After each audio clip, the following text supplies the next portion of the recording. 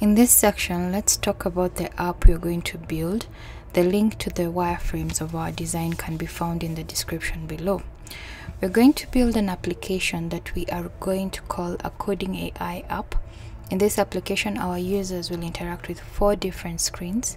In the first screen, uh, we'll have a landing screen to welcome the user to the application. The screen will consist of a simple icon, a text uh, which shows more of a heading, head headline, and uh, we'll have a small tagline, and then below it we'll have a simple button that directs us to the next screen, which will be the second screen, and we'll we'll call it the playground screen. This is where we will interact with OpenAI a lot and implement prompt engineering. It will consist of an input where we will enter our prompt and a section below it where the completion will be displayed. Since Flutter's ecosystem revolves around widgets, in this tutorial our prompts will focus on getting completions in form of widget uh, code. If you're not familiar with any of the terminologies mentioned in this series, please follow me on Instagram for better understanding.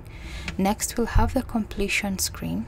This will consist of this will consist of the completions that we have received during our interactions with OpenAI Codex with the option to delete and drag the completions around. Lastly, we'll have the design screen where our completions, this ones, will be represented in form of UI. For example, in this case, this we received, uh, we're assuming after interacting with the playground, we received two completions. The first one is a text with the title Hello World, and the second one, this is an app overview. So on the design screen, to display the actual widget, which is Hello World, and this is an app overview.